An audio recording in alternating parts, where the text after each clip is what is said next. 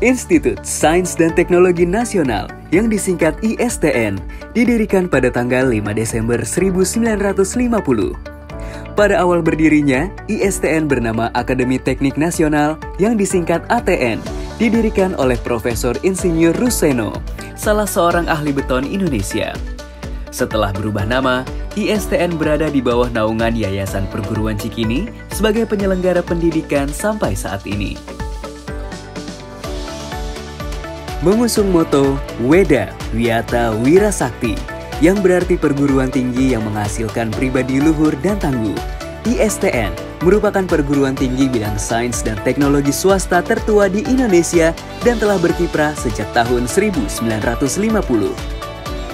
Terletak di Jalan Muhkahfi 2 Srengseng Sawah Jagakarsa, Jakarta Selatan, merupakan area yang mudah dijangkau dari berbagai arah Jakarta Selatan menjadikan lokasi kampus ISTN cukup strategis. Dikelilingi oleh berbagai pusat perbelanjaan, pusat kuliner, percetakan, dan juga perumahan, ISTN menjadi salah satu kampus yang sangat nyaman dan menyenangkan. Sebagai perguruan tinggi swasta yang menyelenggarakan pendidikan sains dan teknologi yang sudah berpengalaman, saat ini ISTN mempunyai lima fakultas, yaitu Fakultas Farmasi, Fakultas Teknologi Industri, Fakultas Teknik Sipil dan Perencanaan, Fakultas Sains dan Teknologi Informasi, dan program Pasca Sarjana. Didukung oleh tenaga para dosen yang profesional di bidangnya. Setiap fakultas menawarkan berbagai pilihan jurusan unggulan yang sudah terakreditasi dan berpengalaman dalam menghasilkan wisudawan yang berprestasi, berkualitas, dan handal di era global saat ini. Dalam fasilitas sarana dan prasarana, ISTN menyediakan berbagai fasilitas untuk mendukung dan menunjang kegiatan yang ada di lingkungan kampus. Fasilitas akademik kampus sangat beragam, mulai dari laboratorium utama, laboratorium prodi, studio gambar, perpustakaan, ruang kelas, ruang sidang, dan auditorium, serta beragam fasilitas non-akademik kampus berupa internet dengan kecepatan tinggi dan stabil di seluruh area kampus, danau, masjid, lapangan parkir, dan keamanan 24 jam. ISTN akan selalu berupaya mengembangkan dan meningkatkan kualitas fasilitas kampus sehingga dapat selalu menyediakan pelayanan yang prima.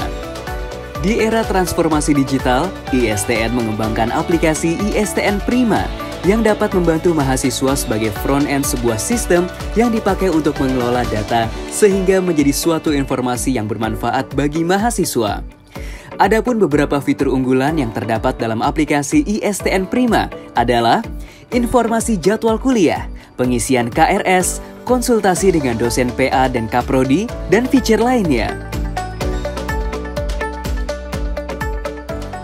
Saat ini, ISTN menjadi salah satu perguruan tinggi swasta yang sudah cukup lama dan berpengalaman di Indonesia telah melewati perjalanan panjang dalam berbagai hal, ISTN juga aktif mengembangkan dan menerima kerjasama dengan berbagai perguruan tinggi, pemerintah, sekolah, LSM, dan perusahaan swasta dalam melaksanakan Tridharma Perguruan Tinggi. ISTN juga rutin membantu dan berpartisipasi di berbagai kegiatan masyarakat dalam perannya sebagai pengabdian ISTN kepada masyarakat.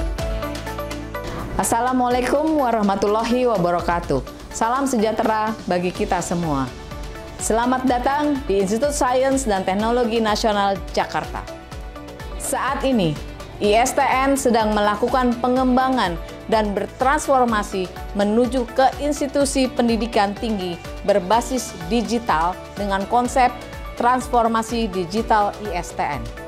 Ada beberapa hal yang dilakukan dalam transformasi digital, antara lain menegakkan peraturan dan disiplin terhadap ketentuan akademik maupun non-akademik.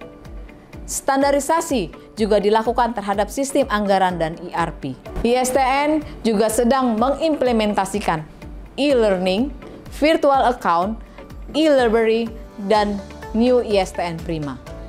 Dengan kesungguhan dan konsistensi menyelesaikan transformasi digital ini, kita menginginkan ISTN menjadi perguruan tinggi yang lebih kuat dan tangguh. Jayalah ISTN! Dalam mendukung peningkatan akses dan pemerataan kesempatan belajar di perguruan tinggi bagi rakyat Indonesia, ISTN menyediakan berbagai beasiswa internal maupun eksternal yang bekerja sama dengan yayasan dan institusi swasta maupun pemerintahan. Dalam tatanan kehidupan kampus, ISTN memiliki berbagai himpunan mahasiswa yang nantinya diharapkan dapat mendidik serta melatih mahasiswa sebagai tunas-tunas bangsa untuk menghasilkan generasi penerus bangsa yang tidak hanya ahli dalam bidang keilmuan, namun juga cakap dalam kegiatan berorganisasi, bersosialisasi, serta memiliki sikap dan sifat kepemimpinan yang dapat diandalkan untuk meneruskan perjuangan para pendahulunya dalam mempertahankan dan memajukan kehidupan bangsa.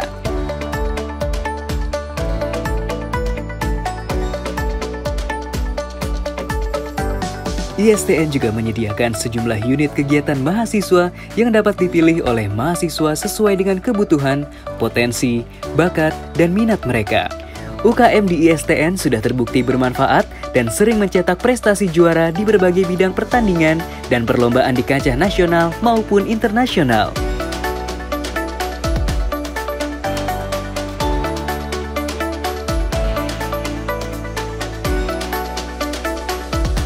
ISTN memiliki misi untuk meningkatkan kualitas sumber daya manusia di bidang sains dan teknologi melalui penyelenggaraan pendidikan, penelitian, dan pengabdian kepada masyarakat untuk Indonesia yang lebih baik.